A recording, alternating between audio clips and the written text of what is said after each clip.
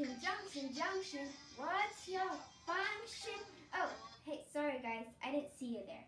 My name is Mia Williams and I am a Childsplay Kid Reporter. And I was just listening to Conjunction Junction from Schoolhouse Rock. Have you seen it live at the Childsplay Theater? You haven't? Well, I'm going to tell you five reasons why you should go see it. In the production, there were many catchy and educational songs. We learned about nouns, verbs, adjectives, interjections, and we learned about the multiples of three in the song, Three is a Magic Number. I got to interview the cast, and they were very funny, kind, and energetic, and they inspired me to continue to be a performer. The set design was very unique and colorful, and the props were very cool because they had, oh wait, I can't tell you, I don't want to spoil anything.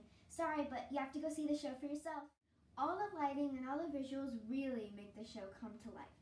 If you would like to go see an educational, fun-filled production with an amazing cast, you should go see Schoolhouse Rock live at Childsplay Theater and get ready to dance, and I hope you love it as much as I did.